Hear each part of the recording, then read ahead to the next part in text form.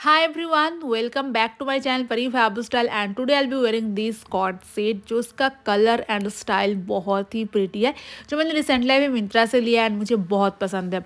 आज मैं first time इसको वेयर कर रही हूँ बहुत कंफर्टेबल है। इसका अगर लिंक चाहिए मैं आपको डिस्क्रिप्शन बॉक्स में दे दूँगी। बाय द बता दूँ मैं आपको जो मेरे रेगुलर व्यूअर्स हैं उनको पता है कि मैं आ, कुछ लगभग वन मंथ से वीडियो नहीं डाल रही थी क्योंकि मेरा आपको प्रीवियस वीडियो से ऑलरेडी पता लग गया कि मेरा फ़ोन ख़राब था। एंड कैमरा उतना हैंडी होता नहीं है कि हम कैमरा उठा लिया, इसे वीडियो बनाना स्टार्ट कर दे, क्योंकि वो बहुत हेवी होते हैं तो प्रोफेशनल शूट के लिए परफेक्ट होता है। तो बाय द वे हम आए हैं निको पार्क हमारा सुबह से प्लान था कि हम ट्रैम्पोलिन पार्क जाएँगे, जो कि न्यू टाउन में है। बट किसी वजह से हमारा जो प्लान है, जो ड्रॉप हो गया तो फिर से हमने निको पार्क का प्लान बनाया हुआ है। क्योंकि हम लोगों ने ऑलरेडी विराज को प्रॉमिस किया था कि आज हम उसको घुमाने लेके जाएँगे एंड पूरे दिन उसी के साथ होगा पूरा। तो फिर से हमने निको पार्क का प्लान बनाया एंड निको पार्क हम आ चुके हैं। आए हैं हम बिल्कुल चार, साढ़े चार बजे शाम के। तो बहुत सारे जो लोग हैं निकल रहे हैं क्योंकि घर से निकलते निकलते बहुत टाइम लग गया हम लोगों को। तो फिर हम आते ही बाहर पिचन दिख गया उसको तो बाहर पिजन के साथ बहुत टाइम तक खेले हो उसके बाद भगा के हम उसको अंदर लेकर आए कि आप चलो पार्क में भी थोड़ा सा घूम लो क्योंकि ऑलरेडी शाम हो चुका था। सो निको पार्क का जो टिकट प्राइस है, वो एंट्री टिकट है थ्री हंड्रेड पर पर्सन हम लोगों ने नाइन हंड्रेड पे किया क्योंकि हम लोग तीन जन थे।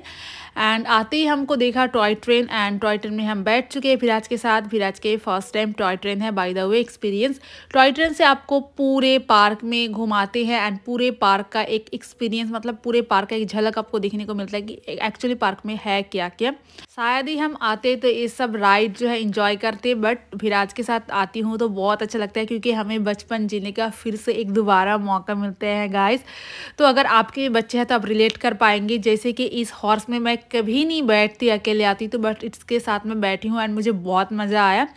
सो so, मैं ऑलरेडी निको पार्क चार पाँच बार विज़िट कर चुकी, बहुत बार आ चुकी बट इसका ये फ़र्स्ट टाइम था इसने बहुत इंजॉय किया। मैं निको पार्क बहुत बार आई हूँ तो मुझे पता है कि क्या क्या है बट विराज के फ़र्स्ट टाइम है तो उसने बहुत इंजॉय किया। उसके बाद हम लोग आए गुगली रूम पे, जहाँ से अंदर तो आ चुके बट निकलना बहुत मुश्किल है। एंड विराज को बहुत डर लग रहा था एंड मुझे बहुत चक्कर आ रहा था। फिर हम उधर से निकलने की कोशिश कर बट निकल ही नहीं पा रहे थे। तो किसी तरह हम निकले तो किसी तरह हम लोगों ने अंदर से निकले एंड निकलने के बाद मुझे इतना दर्द हो रहा था, इतना सर में चक्कर आ रहा था तो हम निकलते निकलते पहले मैंने आइसक्रीम लिया कि मुझे पहले आइसक्रीम खाना है, उसके बाद मुझे कुछ करना है। एंड उसके बाद अलावा भी बहुत सारे राइड थे, बट बता दूँ, इधर पार्क में जो भी अंदर राइड है, सब पेड है, सिवाय उस ट्रेन राइड के एंड एक हॉर्स राइडिंग के उसके। उसके बाद हम लोग आए एक कार राइड पे, जिसमें दो मिनट का आपको टाइम दिया जाता है एंड पर पर्सन टिकट शायद वन या टू हंड्रेड करके पर पर्सन है।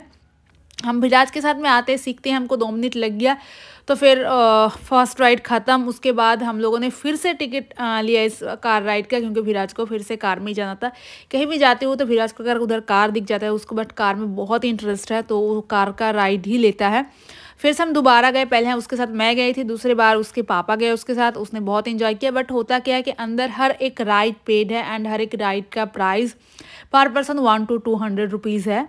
एंड जिसमें आपको टाइमिंग सिर्फ़ सिर्फ़ दो मिनट का दिया जाता है ये गाइस मुझे इस कार राइडिंग बहुत डिसअपॉइंटिंग लगा कि मैं आई अंदर एंड दो मिनट में मुझे मतलब ऐसा सीखते हुए लग गया एंड उसने बोला कि आपका हो गया, अब निकाल दिया।